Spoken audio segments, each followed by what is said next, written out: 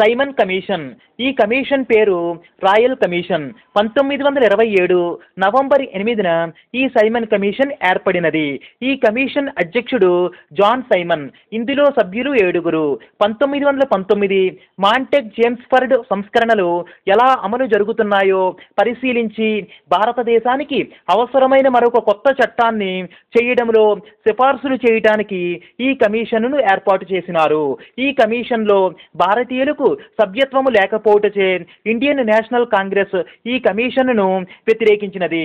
పంతొమ్మిది వందల ఇరవై ఏడు డిసెంబర్లో ఎంఏ అన్సారీ అధ్యక్షతన మద్రాసులో జరిగిన ఇండియన్ నేషనల్ కాంగ్రెస్ సమావేశంలో ఈ కమిషన్ను తిరస్కరించుటకు నిర్ణయించినారు. పంతొమ్మిది వందల ఇరవై ఎనిమిది ఫిబ్రవరి మూడున సైమన్ కమిషన్ బొంబాయికి చేరినది. ఈ కమిషన్కు దేశవ్యాప్తముగా సైమన్ గోబ్యాక్ అనే నినాదముతో వ్యతిరేకించినారు. ఈ కమిషన్ తాను నిర్ణయించుకుని ప్రకారం దేశవ్యాప్తంగా పర్యటించి ప్రజల నాయకుల అభిప్రాయాలు సేకరించి బ్రిటిష్ ప్రభుత్వానికి ఒక నివేదిక సమర్పించినది.